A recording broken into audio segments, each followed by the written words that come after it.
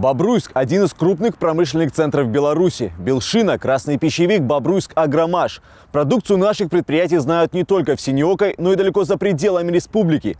Доказательства тому города-побратимы. Один из них – Нарафаминск. Даже расстояние 546 километров – не помеха для плодотворного сотрудничества. Культурные, торговые и экономические сферы, которые стоят на лидирующих позициях в отношениях между Бобруйском и Нарафаминском. Ежегодно товарооборот между побратимами увеличивается на миллионы рублей. Но, как уверяют представители власти, это далеко не предел. Для того, чтобы повысить качество сотрудничества и был организован телемост. К счастью, современные технологии позволяют не замечать расстояние в более чем пять сотен километров. Поэтому вот такое взаимодействие, оно э, интересно, это, конечно, э, специальное взаимодействие, это точные детали. Кожевенный мясокомбинат и машиностроительный завод. Во время диалога присутствовали руководители крупнейших предприятий города. Телемост позволил не только сверить часы по многим вопросам, но и конкретно договориться о шагах, которые позволят еще более тесно сотрудничать в торгово-экономических сферах. На заседании обсудили также и взаимодействие в культуре, спорте и туризме. Появилась такая идея вместе с торгово-промышленной палатой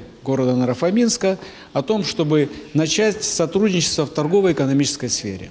Мы об этом уже говорили до этого, была у нас предварительная встреча такая, но вот сегодняшнее мероприятие, оно было хорошо подготовлено и с двух сторон приняло участие достаточно много заинтересованных лиц. Общение в формате телемоста прошло впервые, но все без исключения присутствующие выразили желание, чтобы подобные встречи стали традиционными. Ведь Бобруйск и Нарафаминск связывает давняя дружба, которая должна стать еще более крепкой и экономически выгодной для обеих сторон. Максим Кемель, Максим Галеонко, Бобруйск, 360.